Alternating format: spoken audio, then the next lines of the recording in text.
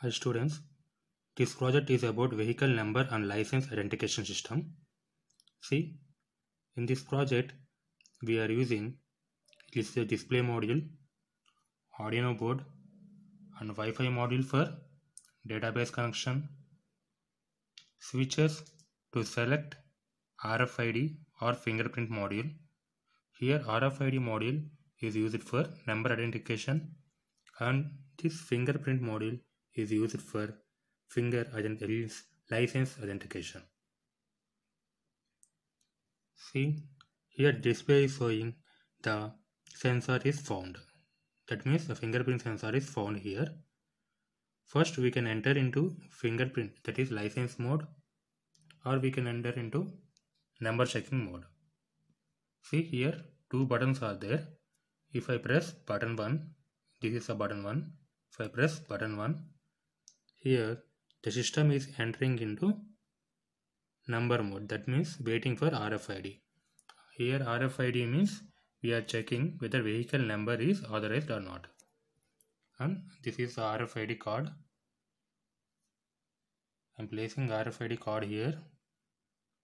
See here it displays the number and it's a valid card. Valid card means the number is valid. Vehicle number is valid. You see this is another type of RFID card if I am placing this one here see this is not valid. That means that vehicle number is not valid. Then if I press the button 2 this is a button 2 it will enter into the license checking mode. That is waiting for finger. See here it is waiting for finger. Okay it is waiting for finger now. So I am placing my first finger here. The fingerprint sensor. See it is showing ID 1 that means here it is valid. If I am placing my second finger here.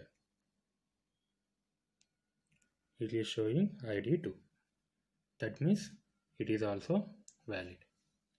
I didn't registered my third finger.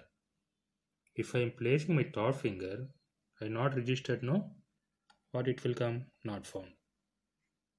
That means the license is not valid.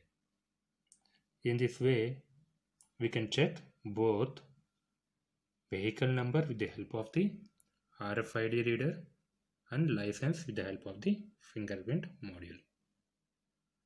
Thank you.